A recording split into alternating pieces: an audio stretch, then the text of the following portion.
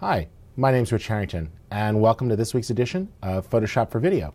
Just wanted to let you know we've got a brand new show partner. We're working with Creative Cow to bring you an even better podcast. So if you want to interact with us, be sure to head on over to creativecow.net and check out the Photoshop forums where you can post questions as well as pick up bonus files related to the podcast.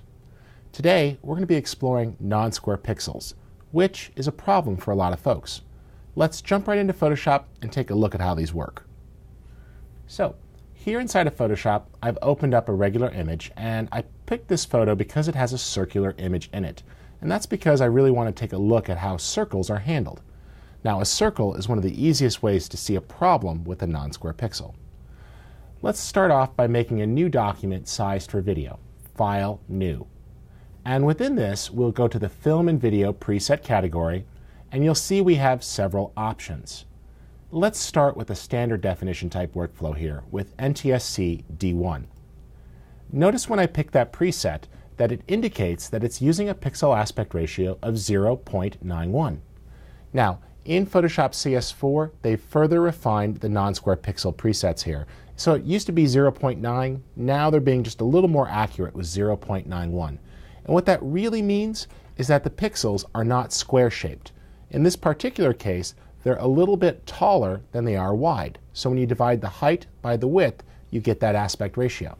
Let's see this. I'll go ahead and click OK, and it's going to make a new document for me.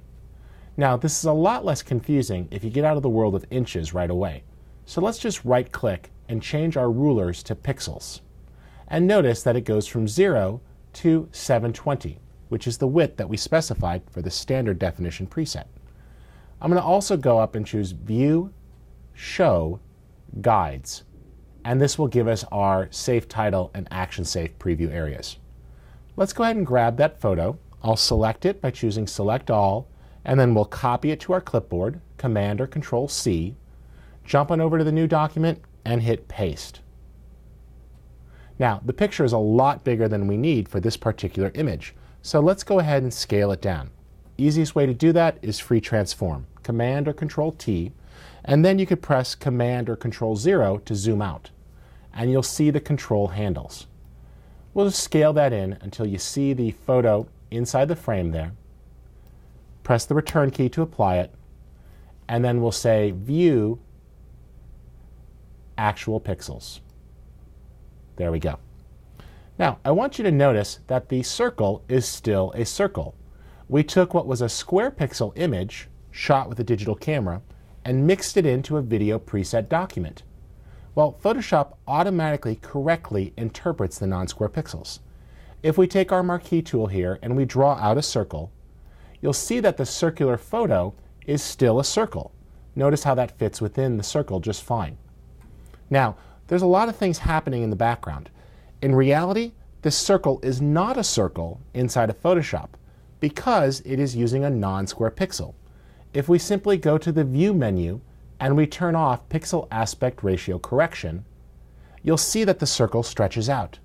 And that's okay. In the world of video, we don't use square pixels for most of our video workflows. What this means is that when designing graphics, the pixels are actually stretched. Then, when it goes back to the television screen, they get stretched back correctly. Let's see this with a different document in hand. I'll go ahead and say File New, and from the film and video category, we'll choose NTSC D1 widescreen. And you'll see that it's displaying at 720 by 486 with a pixel aspect ratio of 1.21. When I click OK and make a new document here, notice that this document is still 720 pixels wide, but it is displaying at a larger size. In fact, 720 times 1.21 is approximately 860. And that's the size the graphic would be if working in square pixels. Let's see this. I'm going to make a new image here, and I'm just going to size it to 860 by 480 pixels. And we will fill that with a solid color. And let's just copy that to our clipboard and switch back to this new video preset and hit paste. Notice we could drag that right into place and it fills the screen. That's because it handled the non-square pixels. Now, the same sort of thing will happen with a photo. Let's just grab our photo, copy it, and paste it into our widescreen document. There it is. Free transform, Command or Control T, and then Command or Control 0 to zoom out. Scale this, holding the Shift key will do a nice job and constrain the proportions. There we go. And just get that into the frame. Let's view that at actual pixels, and notice it too is correctly interpreted as a circle. But if we go under the View menu and we turn off Pixel Aspect Ratio Correction, you'll see how it's distorted. So in both cases, we have images that are not displayed correctly inside of Photoshop until you turn on Pixel Aspect Ratio Correction. The good news is, is that Photoshop does all of this in the background for you. So you can mix different pixel aspect ratios together into a document, and Photoshop will correctly interpret the pixels. All you need to remember is this. If you are dealing with something that was scanned or came from a stock photo, it likely has square pixels. Same holds true for an image taken with a digital still camera. But when you design graphics for Photoshop for video, it is highly likely that you are working with non-square pixels. The great news is, is that Photoshop will automatically handle the mixing of the two types of pixels together seamlessly. Simply choose the new document preset and when you pick the correct size for your particular video workflow, let's say, for example, we were doing high definition DVC Pro, you'll see that it plugged in the correct pixel aspect ratio for you.